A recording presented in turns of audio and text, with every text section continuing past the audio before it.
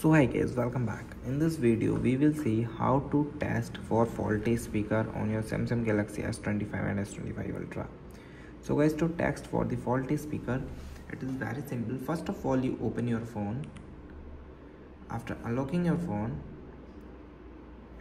okay go to the settings.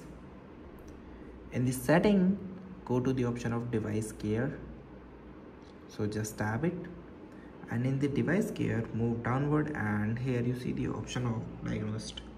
So just tab it. After tabbing wait for and here is the option of for diagnosis. So just tab it and wait for. It check all the things. Okay. Now guys it's scanning all of the things by one by one. So just wait to complete the process. Okay. And it also include your faulty speaker okay?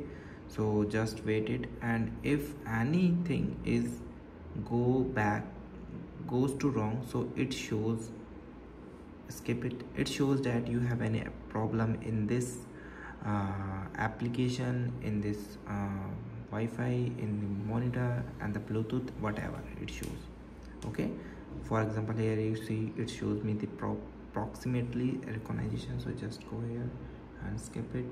Just now it start testing the buttons. So i am tapping here. Press the volume button side button. Now it passed. Now it asks for the vibration so we skip it. And now here in the call speaker okay? Diagnosis test in the call media and the speaker. So here it is starting and checking your faulty speaker okay? So play. Use mic. Now it's changed recording the mic so this is the way you can test for the faulty speaker in your samsung galaxy s25 and s25 ultra. So guys thank you and have a nice day and subscribe our youtube channel for the further information. I hope this video is very helpful for you